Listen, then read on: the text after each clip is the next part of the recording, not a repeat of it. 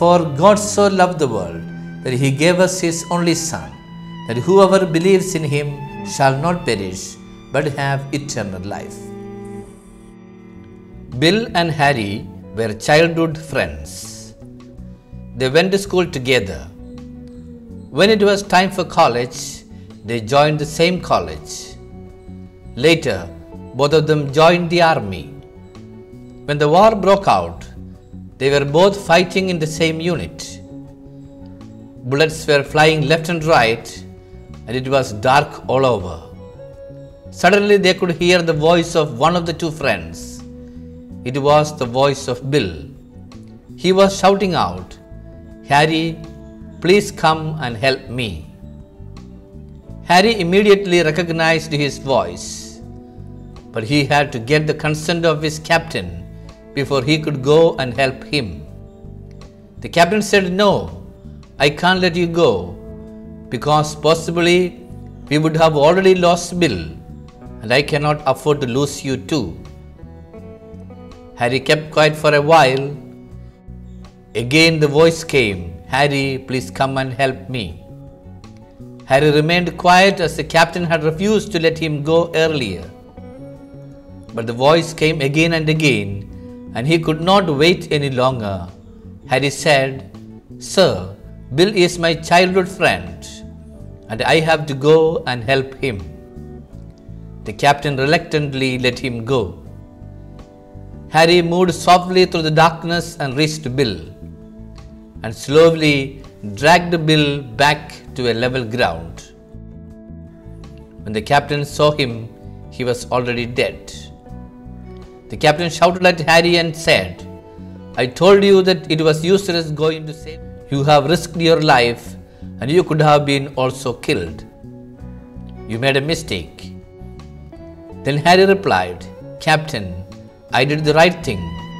When I reached Bill, he was still alive. And the last things he said was, Harry, I knew you would come.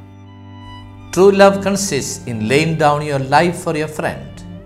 Human power may not permit you to sacrifice your life for others, but God's love and power is manifested in God's self gift in His Son. In the Gospel according to St. John chapter 3, verse 16, we read, For God so loved the world that He gave us His only Son, so that whoever believes in Him shall not perish, but have eternal life. In the Gospel according to St. John chapter 3, Nicodemus, the wealthy Pharisee and a member of the Sanhedrin, meets Jesus by night and begins a long religious discussion. But as we read in chapter 3, verse 3, Jesus said, Very truly I tell you, unless you are born again, you cannot enter the kingdom of God.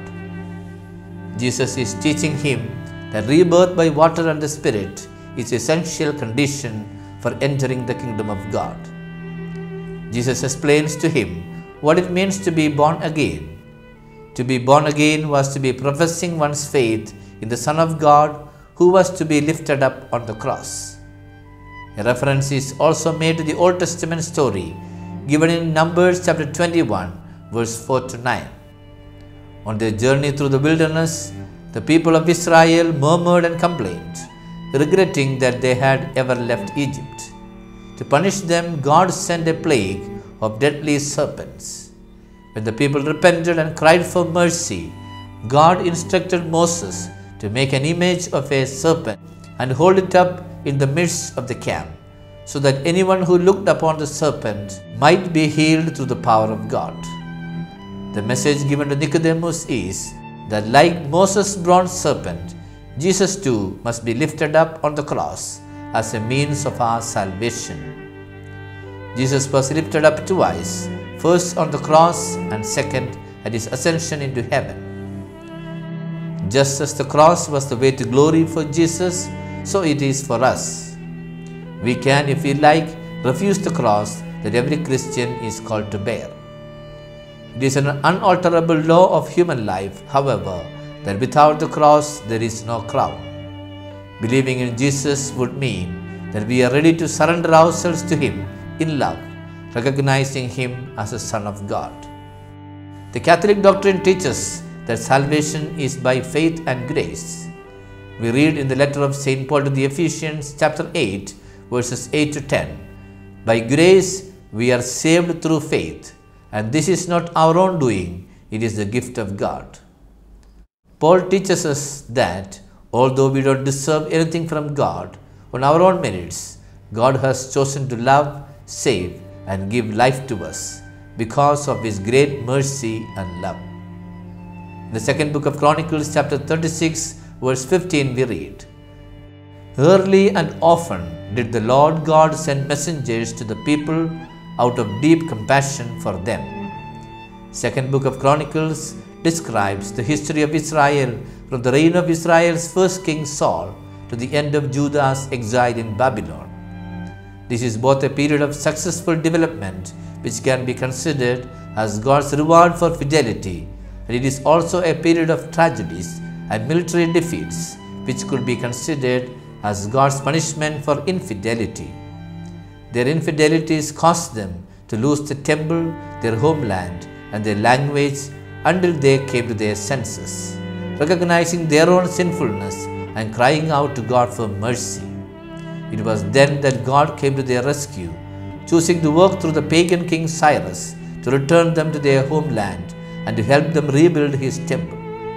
This is a clear sign that God sends his messengers out of his mercy to save us.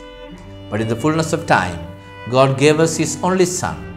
This is the truth contained in what is called the Gospel of Gospels, which is the core of Christian doctrine in John chapter 3 verse 16. For God so loved the world that he gave his only begotten Son, so that everyone who believes in him might not perish but might have eternal life.